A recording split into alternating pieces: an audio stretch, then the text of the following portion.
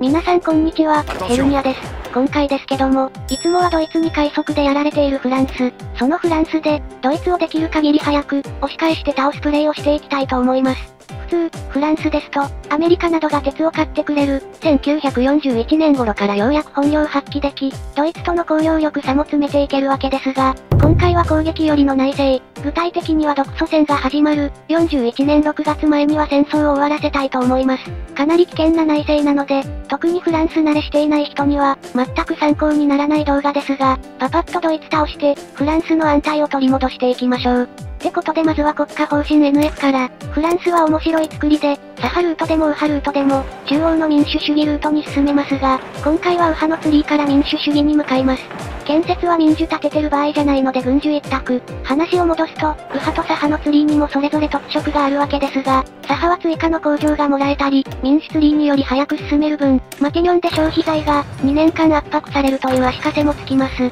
対して右派は、工場的恩恵はありませんが、産業150%研究 ×3 など、研究や産業関係に恩恵があります。今回は一刻も早く、軍需を立てたかったので、また集中工業を進めたかったため、右ということなんですね。そして軍需品の割り当てなんですが、歩兵装備は歩兵師団を充足させられる、ギリギリを割り当てまして、今後は軽中戦車、何より戦闘機、支援機の順で割り当てていきます。すなわちドイツ軍相手に、動戦で逆に相手の軍を分断殲滅して、その師団数を減らして、ドイツ領内に流れ込んでいく算段です。歩兵装備に余力がないので、ちょっと無茶したらすぐ充足が死んで、何より予備の歩兵師団がほぼ出せない状態で、戦うことになりますが、まあなんとかなるだろうの精神で、時間を進めていこうと思います。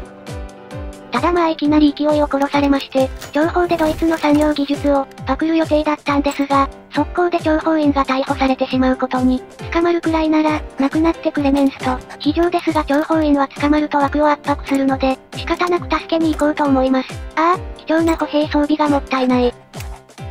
フランスの大きな足かせとなる、政治的順内戦を取り除くため、NF 政府の強化を取得完了。1年後になると、政治的順内戦を取り除く、防衛戦略が取れるので、それまでは他の必要 NF を取得していきましょう。今回ドイツを倒すと言っても、基本は史実ルート準拠。ドイツに早めに殴りかかったり、中小に殴るのも禁止で、フランスの公用力がドイツの公用力を上回ることはないでしょう。その分イギリスと、その鎖に繋がれた愉快な仲間たちが助けてくれると思うので、今のうちにイギリス協調で、連合国に加盟しておきます。まあ諜報員を政治顧問を雇って増やすより、情報活動の主導国になった方が、安く済むというのが本音だったりします。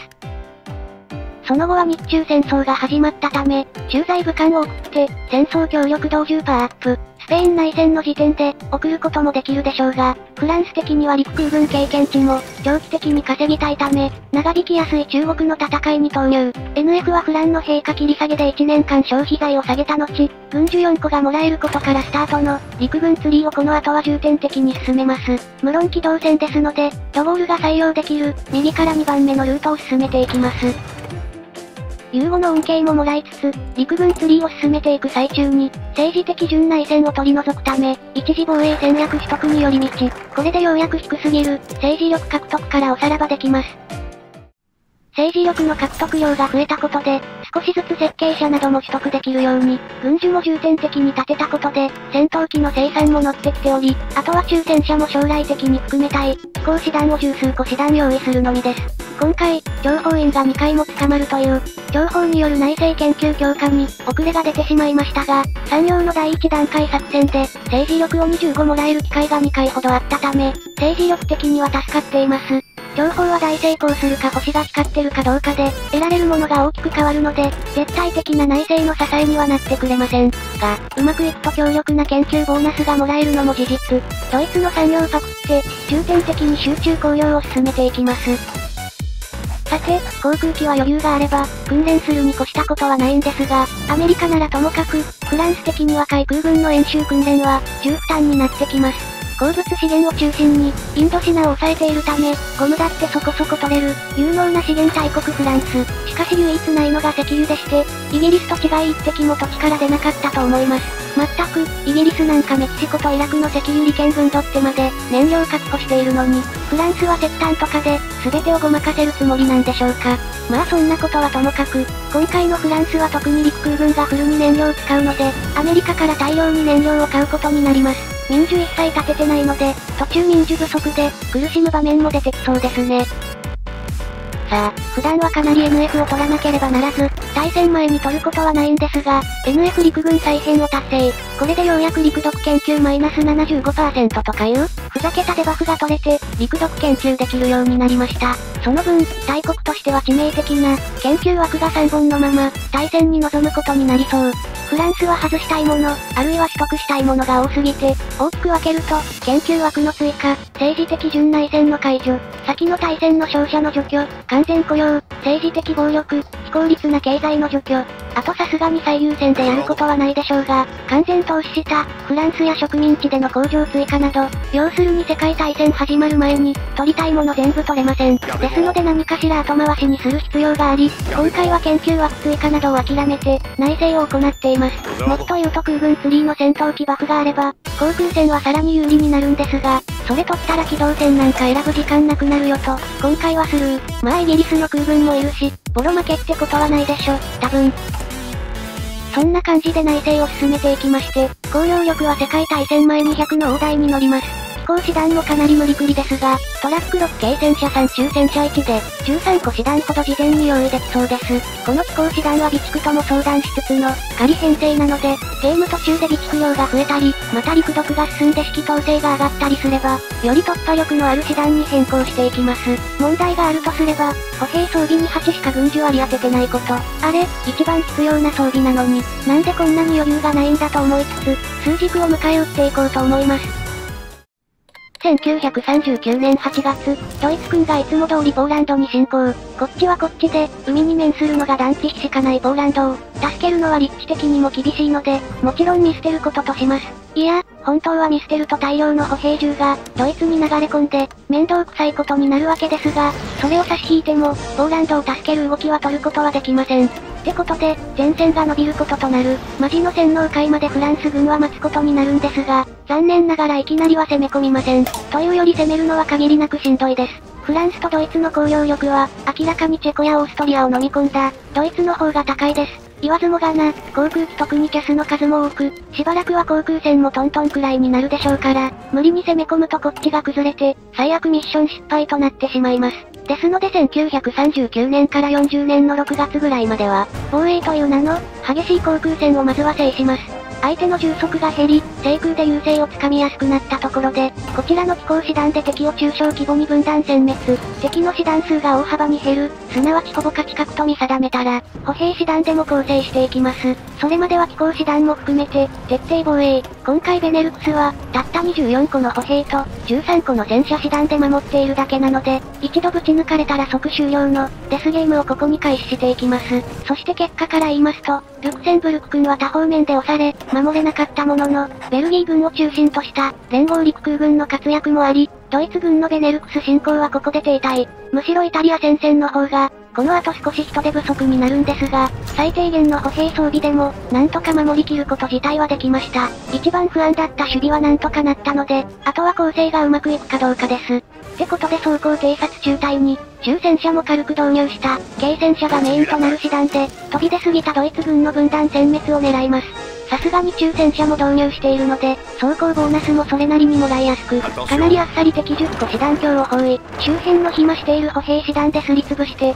いよいよベネルクス奪還と、ドイツ本土に侵攻していきます。ってことで分かりやすいように色とか変えまして、基本は手動操作で攻撃していきます。目指すはオランダ解放による、ベネルクス側とドイツ側での分断を狙いたいですが、この辺りはご覧の通り川がかなり多く、またフランス軍ほぼほぼキャスがないので、航空的な支援は大きく期待できません。敵にも対戦車線ができる、中戦車がいるわけですが、うまいこと道中で敵を包囲できたので、まずはこれを殲滅。またこの頃から戦闘機優先ではなく、キャス優先の生産に切り替えております。川を乗り越えてしまえば、あとは怖いものなしの平地が多いので、やすやすとドイツ軍を分断。ゴミクソカスですが、一応潜水艦で通称破壊もしているので、海に出られてもタダで返すつもりはありません。ついでに生産予備的に、軽戦車に余力が出てきたので、トラック位置を削って代わりに軽戦車を導入。野砲中隊も入れて多少火力を上げてきます。ベネルクス分断後は、ドイツ軍が再び全力攻勢してきたので、その攻勢で統制率が下がったのを見逃さず、行士団はビルヘルムスハーペンの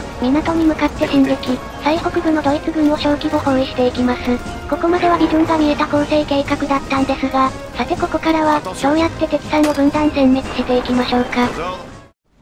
考えた結果、ライン側から要塞がある国境部が一番厄介と考え、まずは南下して、途中ルクセンブルクの方に推進することで、分断殲滅する作戦に、フランスお得意のストライキで、攻め込まれてないのにパリが燃えつつも、ドイツとハンガリー軍、およそ14個師団ほどを包囲、さらにフランクフルトを中継地点に、さらっとドイツの飛行士団も殲滅。なおフランス中戦車は、誰とは言いませんが、あの地味方かす火力の軽戦車だけでなく、中戦車はすでに41年式の4号戦車並みの最新戦車を配備中なので、ドイツの戦車技術にも遅れは取りません。でもって超無理くり食い込んで、要塞のあるプロビを突破し、だいたい30個師団くらいのドイツ軍を包囲して、その後殲滅することに成功。これが事実上の決定打になるわけですが、包囲内には河川や要塞が多いので、この殲滅に結構時間を食われることになります。ちなみに現在1940年の10月1日です。殲滅に約1ヶ月かかり、戦車師団が本格的に構成できるようになったのは、